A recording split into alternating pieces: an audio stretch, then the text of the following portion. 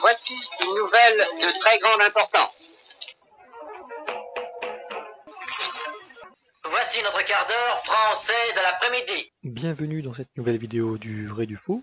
Donc, dans la vidéo précédente, nous avons laissé Hitler se faire tirer dessus et nous allons reprendre là. Donc, comme dit dans la vidéo précédente, le tir entre les putschistes et la police durera moins d'une minute, ce qui donnera le résultat sur le moment de 13 putschistes tués et 3 policiers tués.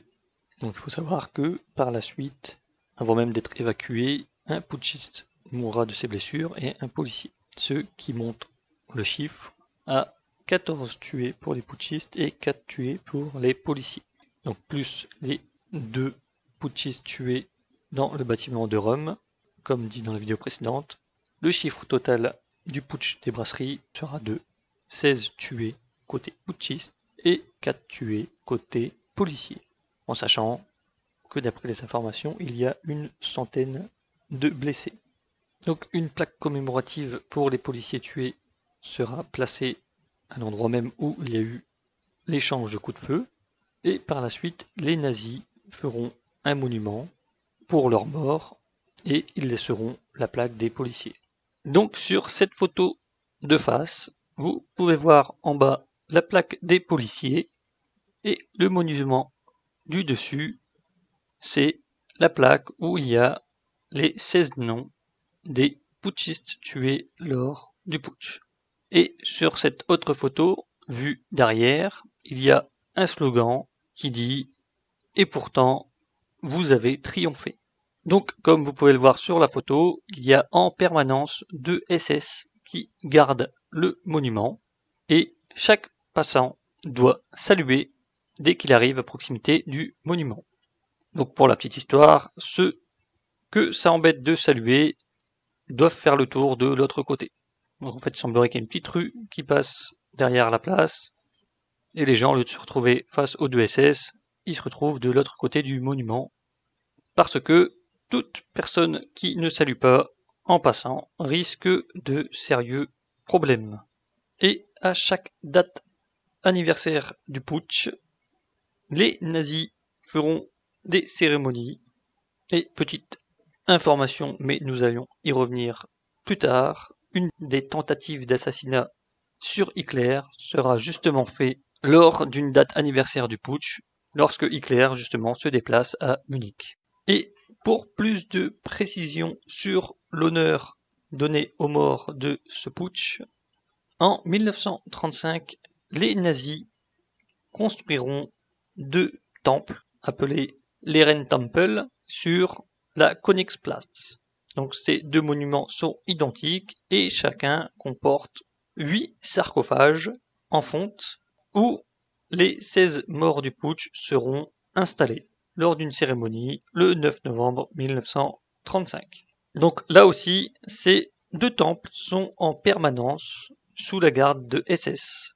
Donc c'est une garde d'honneur et chaque relève se fait par un cérémonial, un peu comme les gardes anglais de la reine d'Angleterre. Donc pour la petite histoire, ces temples seront détruits en 1947 par l'armée américaine. Bien entendu, ils déplaceront les morts dans les cimetières, les rendront à leurs familles, et par la suite les temples seront détruits. En sachant que lors des combats de 1945, les sarcophages et les temples seront endommagés par les combats. Donc voilà pour l'histoire des tués du putsch. Donc alors, revenons à notre fusillade de ce samedi 9 novembre 1923. Hitler, lui, lors des tirs, a été entraîné dans la chute de Schöbner-Richter, qui lui tenait le bras. Hitler tomba sur le pavé et il eut une luxation d'épaule. Donc sur le moment, Hitler, lui, avec la douleur plus les tirs, il s'imagine qu'il a reçu une balle. Donc sur la mort de Schöbner-Richter qui était à ses côtés, j'ai trouvé deux informations. Une information nous dit qu'il s'est pris des balles dans la poitrine et dans le bras, et une autre qui s'est pris une balle dans la tête. Dans tous les cas, ce qui est sûr, c'est que lui, il est mort sur le coup. Et nous savons que Ulrich Graf, le garde du corps d'Hitler, était devant, et il s'est mis au moment des tirs devant Lundendorf et Hitler, comme dit dans le hors-série sur Ulrich Graf. Mais c'est pareil, il y a deux informations. Une comme quoi il s'est pris 11 balles dans la poitrine, et une autre où il s'est pris 3-4 balles. Sachant que 11 balles dans la poitrine, il faut être Alex Murphy pour ne pas succomber à autant de blessures. Donc, le plus logique dans ces histoires, c'est qu'il se serait pris certainement trois impacts assez importants, 3-4 impacts, en sachant que il aurait pu recevoir aussi des ricochets de balles et certainement des débris de pavés, ce qui peut amener justement au chiffre de 11 blessures, mais ces blessures sont jugées comme graves. Et il ne faut pas oublier que ce monsieur est lutteur, donc il a une assez grosse carrure, ce qui peut l'avoir aidé à survivre à ses blessures. Et il faut savoir aussi que Lunendorf a été protégé par son valet, Kurt Neubauer. Donc lui aussi, il y a deux informations. Une comme quoi il s'est fait arracher la moitié de la tête par une balle. Et une autre information comme quoi il s'est pris des balles au travers du corps et qu'il a été limite coupé en deux. Donc c'est assez problématique. On a l'impression que les chercheurs historiens se trompent entre Schöbner-Richter et Neubauer. Parce que pour l'un et l'autre, c'est des balles dans la poitrine et dans la tête. Donc, il faut vous douter que lorsque les tirs commencent, tout le monde se plaque au sol et ensuite les tirs cessent. Donc, comme vous pouvez l'imaginer, les gens se lèvent, courent, se bousculent, se piétinent dans tous les sens. Et c'est là qu'Hitler profite pour se sauver. Donc, comme vous allez le voir, il y a plusieurs versions. Donc il y a la version des nazis, parce que les nazis feront de cet événement quelque chose de très connu, donc nous aurons la version des nazis et la version des historiens qui essayent de remettre en cause la version officielle. Soit dit en passant, toujours pour faire passer Hitler pour un lâche. Donc après, ils peuvent avoir raison, ou comme la version nazie peut être véridique. Donc il y a la version de Hitler qui a sauté sur le sol, on sait qu'il a été entraîné dans sa chute, et des personnes disent que Lunendorf est resté debout et qu'il a continué et a avancé. Donc ça aussi, on peut croire que c'est une légende parce que instinctivement, quand on se fait tirer dessus, les gens se couchent à terre. Et il faut savoir que Hitler, lui, quand il part, il pense que Ulrich Graf et Lunendorf sont morts. S'il pense que Lunendorf est mort, c'est que Lunendorf doit être au sol et non debout.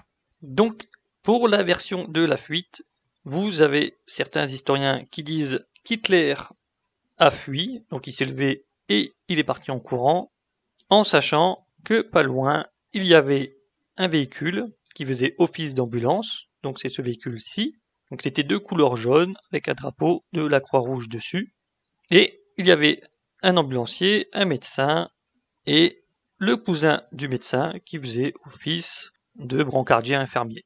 Donc c'est un peu comme aujourd'hui dans nos manifestations, il y a les médics, bah là c'est la même chose, il y a un groupe médical qui suit le groupe des putschistes. Donc alors certains disent que Hitler sait que la voiture est dans telle rue et il se sauve vers cette voiture. Donc ça c'est l'avis des historiens. Donc après nous pouvons remettre en doute cette version parce que il aurait fallu que Hitler sache que les problèmes viendraient dans cette place alors que, à l'origine, ils suivent Lunendorf, et leur destination n'est pas cette place, c'est Lunendorf qui va bifurquer à droite, alors que l'origine, cela n'était pas prévu. Donc, nous allons citer la version des nazis, qui est racontée par le biais du docteur Schulz, donc le docteur qui est dans le véhicule. Donc, il dira que Hitler a été évacué de la place par deux SA, donc ce qui n'est pas étrange parce que Göring lui-même a été évacué par deux SA quand il était blessé. Donc deux SA se charge d'Hitler et il l'emmène dans une rue, une petite ruelle, on dira sécurisée. Donc là on peut dire que Hitler se sauve pour ne pas être arrêté par la police. Parce que là il faut vous dire qu'il sait très bien que le putsch est raté. Depuis le début, vous avez peut-être constaté que bien que les gens soient arrêtés et qu'il y ait des otages, le putsch se passe sans incident, sans violence. Parce que le mot d'ordre est que les putschistes ne doivent pas en venir aux mains avec l'armée ou la police. Donc c'est pour ça que Hitler, en amont du défilé, il donnera les consignes comme quoi les SA ne doivent pas posséder des armes avec des balles engagées dans les canons. Rome lui dira justement à ses hommes de ne pas tirer sur l'armée parce que un jour ils seront coude à coude. Et vous avez aussi Gérard Rosbach qui lui, dès qu'il a l'information que la police va tenir coûte que coûte et va devoir utiliser les armes contre eux, évacue avec ses hommes. Donc tout cela pour dire que le putsch n'était pas destiné à être un bain de sang. Donc là, Hitler, comme il a eu les tirs et qu'il y a des morts et des blessés, il sait qu'ils ne vont pas continuer.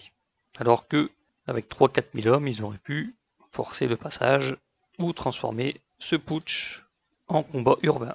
Donc là, Hitler évacue avec deux SA et justement, il rencontre le cousin du docteur Schulz dans la ruelle. Donc il faut certainement se dire que ce monsieur a dû entendre les coups de feu et a dû se diriger là où il y avait la fusillade. Et de là, il rencontre Hitler et les deux SA et il les accompagne jusqu'au véhicule.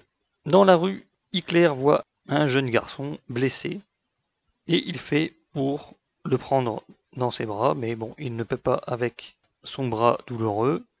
Et c'est le cousin du docteur qui dira à Hitler on s'en occupe, on s'en occupe. Donc le cousin prendra le jeune garçon et ils continueront jusqu'au véhicule du docteur. Donc, même si cette histoire vient du côté d'Asie, c'est probable.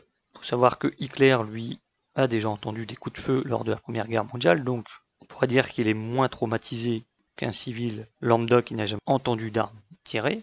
Et de plus, on sait, de par sa carrière militaire, qu'il est déjà venu en aide à beaucoup de personnes lors de son travail d'estafette. Donc le fait d'être dans une rue sécurisée et que les tirs ont cessé, on peut se dire que Hitler, en voyant un jeune, ait pu tenter de l'aider, sachant qu'il n'y avait plus de danger immédiat. Donc il n'y a rien de bizarre.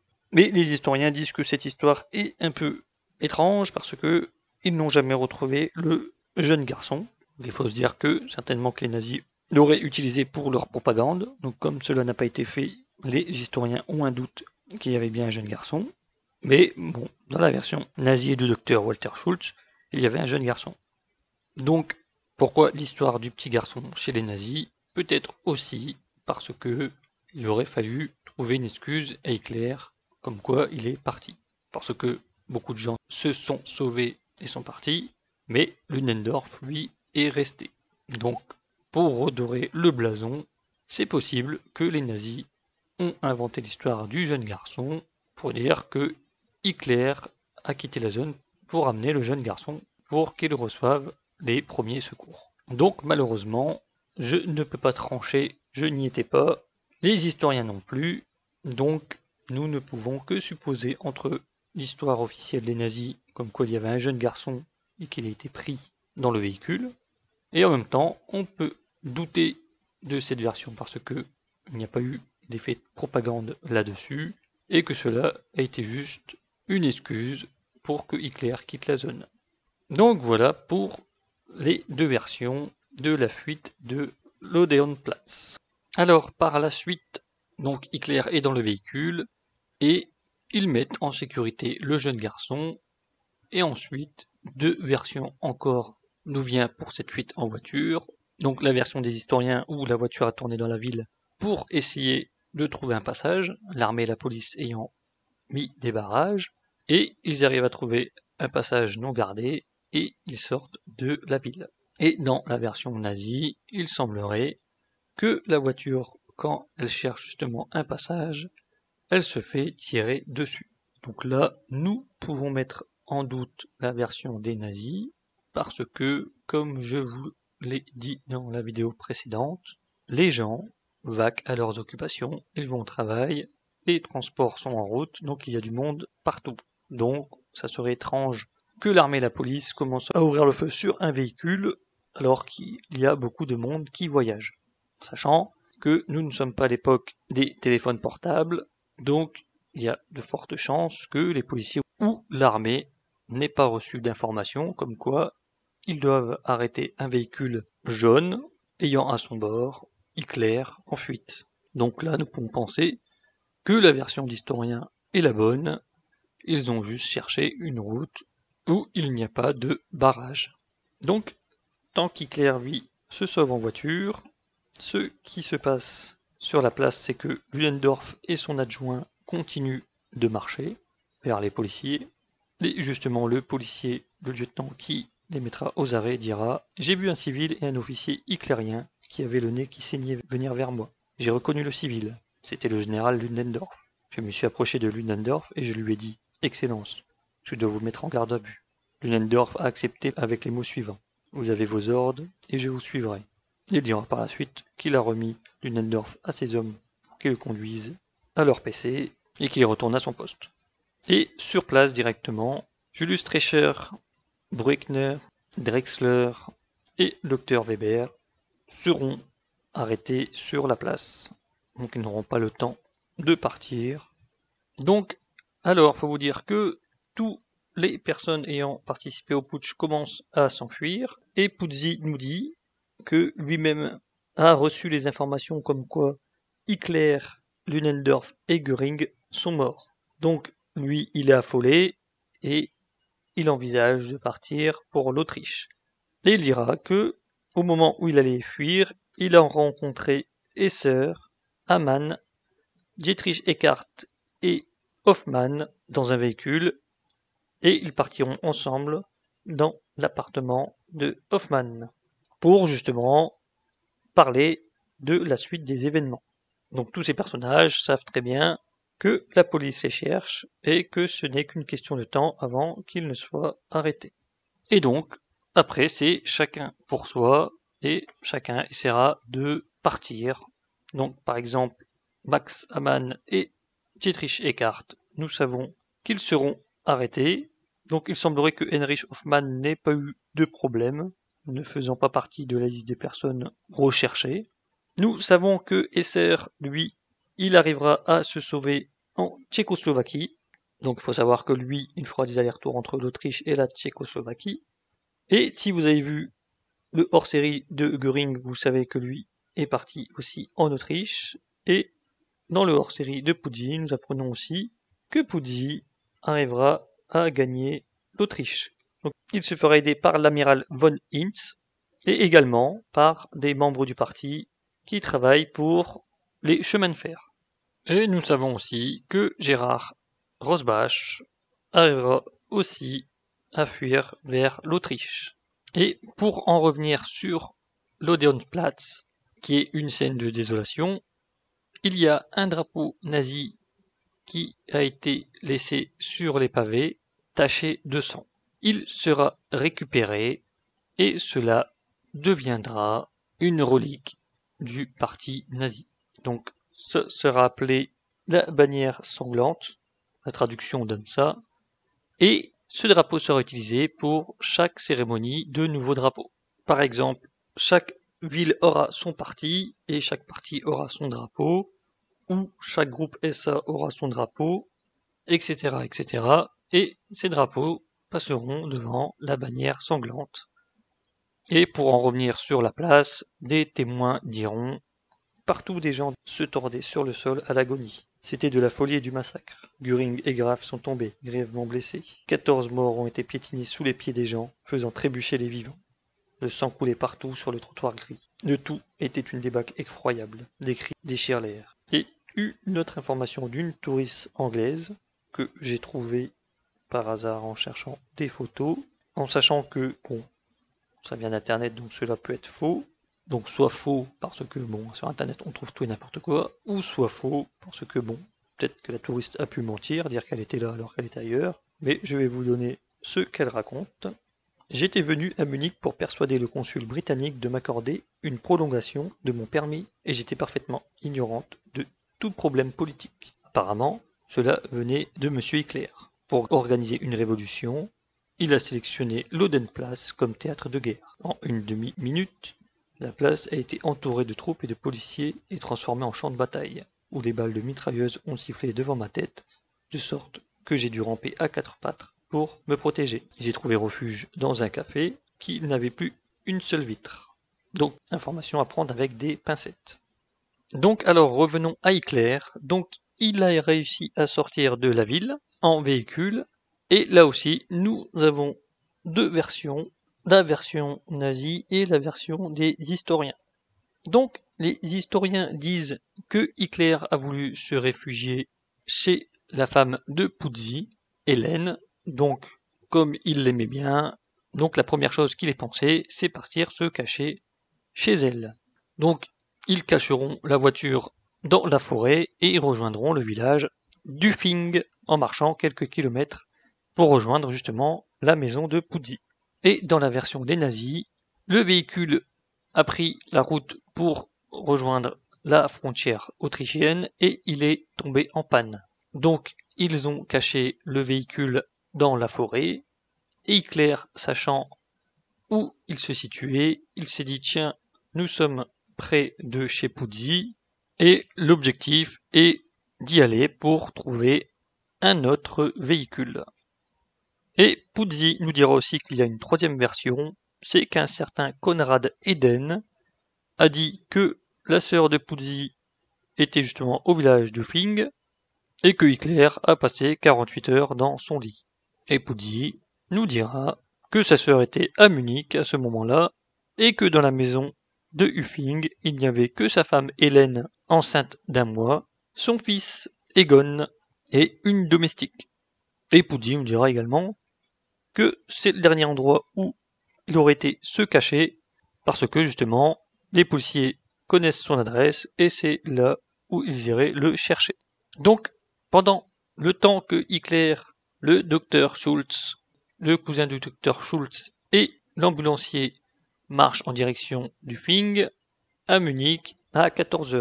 Le Buchan Braunkoller est encerclé par la police et les SA à l'intérieur se rendent sans résistance.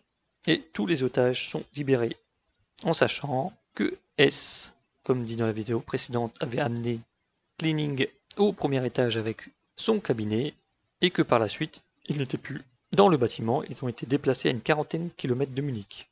Donc pour l'histoire de S, il faut savoir que lui, avec son groupe, ils étaient dans une sorte de petit chalet, une petite maison de campagne, et il n'y avait pas de téléphone. Donc S est sorti du bâtiment pour aller essayer de trouver un téléphone pour joindre les putschistes pour voir comment cela se passe.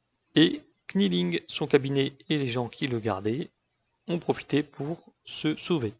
Il semblerait qu'ils ont retourné la tête de leur géolier et ils se sont tous sauvés avec les véhicules. Et S, une fois qu'il est revenu, eh ben, il s'est retrouvé tout seul à 40 km de Munich. Ce qui fait que lui n'est même pas au courant des événements qui se passent sur Munich. Donc il cherche à rejoindre Munich. Il semblerait qu'il ait réussi à joindre sa future femme au téléphone et qu'elle est venue le chercher en vélo et qu'ils ont fait la route en vélo à deux jusqu'à Munich. Donc voilà pour la petite histoire de S. Donc à 15h, Rome et ses troupes du Reich Kriegflag se rendent, sans résistance également, et Rome est arrêté. Et il est incarcéré immédiatement en prison, donc la prison de Stadenheim. Donc il semblerait que les hommes du Reich Kriegsflag dont Himmler fait partie ont défilé dans les rues avec leurs deux morts, et le groupe sera dissous. Et pour la petite histoire, Himmler, il semblerait qu'il soit parti chez ses parents en espérant se faire oublier. Donc à 15h, le général Bonlosso dira à Von Excellence, le putsch Ludendorff, Hitler a été brisé. Donc il faut savoir que Stresser, qui lui tient accès ça, le Ludwig Brugger, entre le Brugger Boller et le centre-ville, lorsqu'il a été mis au courant du fiasco du putsch, il a effectué avec ses hommes une retraite tactique jusqu'à une gare, où il disparut avec ses hommes.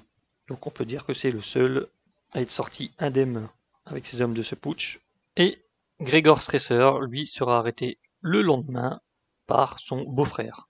Donc je ne sais pas si vous vous en souvenez, dans une vidéo précédente, j'avais parlé que pour le 1er mai, les nazis devaient marcher sur Munich, et qu'à un moment donné, le convoi de Stresser rencontre un convoi de policiers, et les deux chefs discutent ensemble, et ils sont beaux-frères.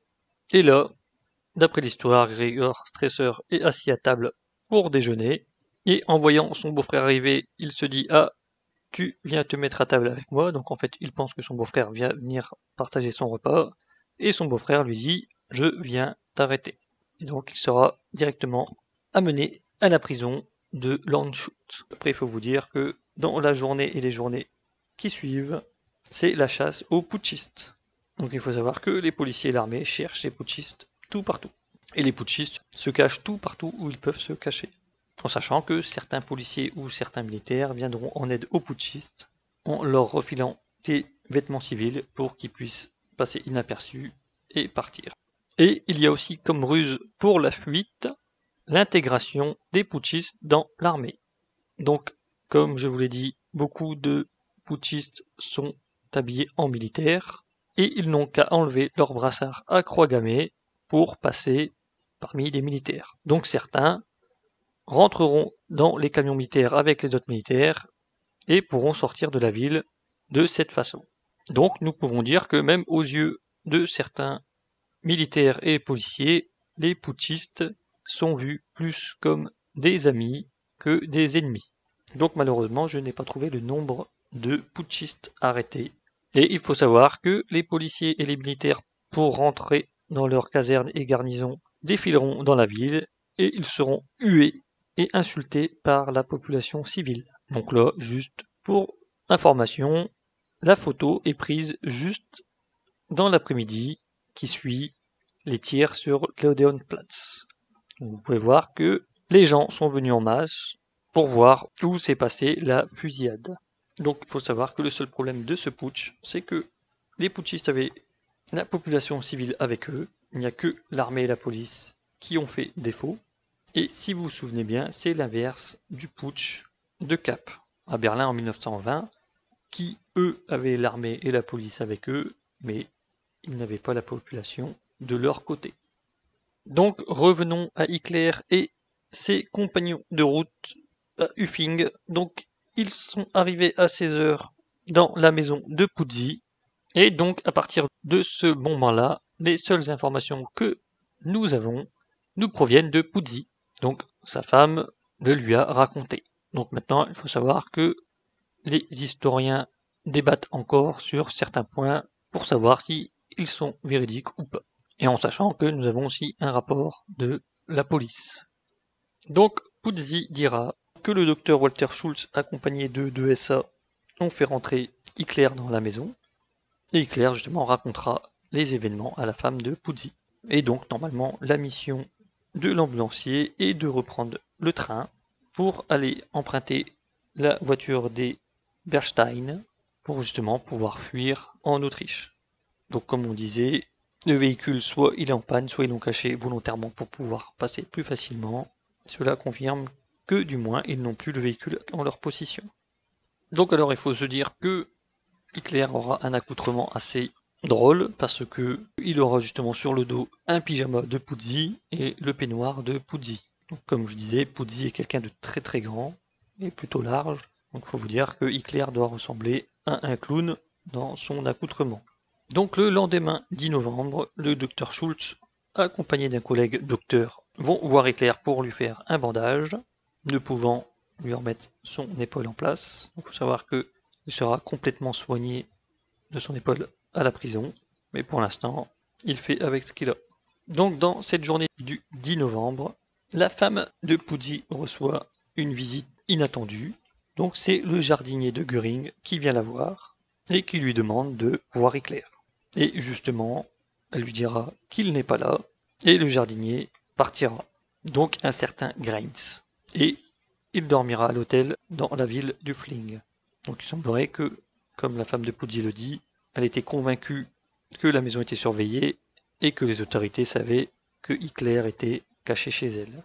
Donc elle dira à Hitler que le mieux pour lui c'est de partir parce que la police viendra certainement le chercher Hitler est d'accord avec elle, mais il veut quand même attendre après la voiture des Bernstein. Donc, le 11 novembre, Hitler ne voyant pas arriver la limousine des Bernstein, il s'inquiète et se fait tout un film. À 17h, la mère de Puzzi, qui habite la ville et qui est presque voisine de son fils, appelle sa belle-fille pour lui dire que la police fouille sa ferme et que ils vont jusqu'à aller mettre des coups de baïonnette dans la paille, parce que ils sont sûrs que Hitler se cache dans la ville. Donc il semblerait que pendant que la mère de Puzzi téléphone à Hélène, la femme de Puzzi. Le policier prend le combiné du téléphone et lui dit Ne bougez pas, nous arrivons. Donc, le policier, c'est le lieutenant-colonel Rudolf Belleville, et il est accompagné par une dizaine de policiers. Donc, la femme de Puzzi monte dans la chambre où Hitler est logé pour lui parler, et elle trouve Hitler dans tous ses états. Et il menace de se suicider. Il se met un pistolet sur la tempe en disant C'est la fin, ces salauds ne mourront pas je me brûlerai la cervelle avant. Donc il faut savoir que la femme de Pulsi arrive à désarmer Hitler sans trop de problèmes. Donc il faut savoir que Hitler, comme je disais, il a des douleurs dans l'épaule. Donc elle arrive à lui prendre l'arme sans problème. Elle lui fera une prise de jujitsu que Puzzi lui aura appris et elle mettra son pistolet dans un tonneau à farine.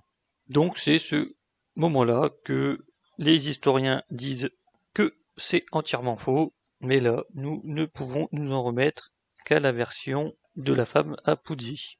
Donc Hitler se calma et griffonna à la hâte son testament politique. Donc, son testament, c'est que Alfred Rosenberg devient le chef du NSDAP, Max Hamann son adjoint, Puzzi trésorier, Hermann Esser et Julius Streicher occuperont les postes de direction. Donc le lieutenant-colonel Belleville de la police et une dizaine de policiers arrivent chez Puzzi et il dira dans son rapport Après avoir frappé, la porte s'est ouverte. Une dame est venue me rencontrer. Après s'être présentée, la dame a demandé si le lieutenant-colonel Belleville était le chef. Quand Belleville a dit qui il était, elle a dit Puis-je vous demander de venir seul en premier? Donc le lieutenant-colonel Belleville dit qu'il a cru qu'il allait pénétrer dans un piège dangereux, mais il est quand même rentré seul, les policiers étant devant la maison. Sans dire un mot, la femme de Puzzi le conduisit à la porte d'une pièce, hésita un instant, regarda le lieutenant-colonel Belleville pendant plusieurs secondes, ouvrit la porte et dit Veuillez entrer. Dans la pièce se tenait Hitler en pyjama blanc, le bras en écharpe. Hitler le regarda distraitement. Lorsqu'il apprit qu'il était venu l'arrêter, Hitler lui tendit la main et lui expliqua qu'il était à sa disposition. Donc après, il faut savoir que d'autres histoires viennent. Par exemple, Otto Stresser, donc le frère de Gregor Stresser, comme son frère est mort lors de la nuit des longs couteaux, il racontera des histoires par la suite. Il dira justement que Hitler était en pyjama, donc ça c'est vrai, mais il dira que Hitler était caché dans l'armoire à robe de la femme de Puzzi, et que c'est les policiers en fouillant la maison qui l'ont retrouvé. Alors que la femme de Puzzi et le policier en question disent que Hitler bah, s'est donné aux policiers parce qu'il savait qu'il n'avait aucune chance de se cacher ou de se sauver. Donc la femme de Puzzi et le policier aident Hitler à s'habiller et Hitler demande à ce qu'on lui épingle sa croix de fer première classe sur sa tenue. Donc il semblerait que Hitler dit aux policiers qu'ils trahissent leur serment et qu'ils contribuent à la désagrégation de l'Allemagne. Donc il semblerait que les policiers lui présentent des excuses et lui prient de les suivre. Et aussi d'après une histoire, il semblerait que le petit Egon, donc le fils de Puzzi, crie après la police en disant Qu'est-ce que vous faites de mauvais? À mon oncle Eudolphe Vous êtes des mauvais hommes. Et la voiture Bernstein arriva 30 minutes après l'arrestation. Donc Hitler est conduit directement en camion à la prison de Landsberg. Donc il semblerait qu'il arrive vers minuit et que cette nuit-là, il faisait une tempête, il faisait très froid et qu'il y avait une forte pluie. Et donc une quarantaine de gardiens l'attendent parce que il s'imagine que Hitler pourra bénéficier d'une tentative de sauvetage. Donc je ne sais pas si c'est exactement 40 gardiens ou des gardiens et des militaires, parce qu'il faut savoir qu'un détachement de la Reichswehr est chargé de prendre la garde de la prison. Et donc Hitler est arrivé à la prison et il est mis dans la cellule. Donc tout le monde s'imagine que Hitler est fini, qu'il ne sera plus possible à lui de prendre un jour le pouvoir, et qu'il retombera dans l'oubli. Donc, comme vous pouvez imaginer, une très grande erreur. Et il prendra la place du comte Anton Arco Vallée dans la cellule numéro 7. Donc, pour ceux qui ne s'en souviennent pas, Anton Arco Vallée est celui qui a assassiné Kurt Esner. Et là, pour l'occasion, il est viré de sa cellule pour laisser la place à Hitler. Donc, il est dit que Hitler ne mange rien et qu'il se coucha immédiatement une fois arrivé dans la cellule. Donc nous y reviendrons, mais Hitler, là, ne sait pas ce qui va lui arriver et il s'imagine qu'il pourrait finir par être fusillé. Donc il n'est pas dans son assiette. Donc voilà, cette vidéo est terminée. J'espère que vous avez appris des choses et je vous souhaite une bonne journée.